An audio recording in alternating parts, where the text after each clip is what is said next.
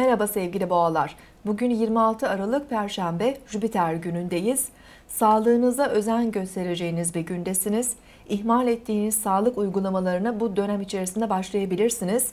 Devam eden bir tedavinin programında da bazı değişiklikler söz konusu olabilir.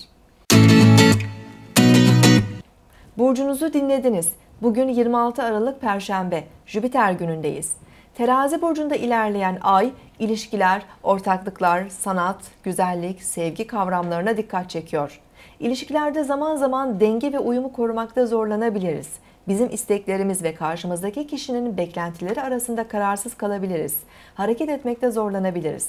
Tartışma ve çekişme olmaması için empati yapabilmeli ancak kendi ihtiyaçlarımızdan da taviz vermemeliyiz.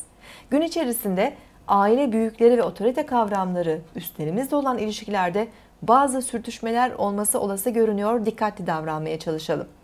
Bugün Merkür ve Neptün arasındaki olumlu görünüm sezgilerimizden faydalanmamızı da kolaylaştırabilir. İletişimlerimiz daha yumuşak olabilir ve sanatsal faaliyetlerde de yaratıcılığımızı gösterebiliriz. Yarın tekrar görüşmek üzere. Hoşçakalın.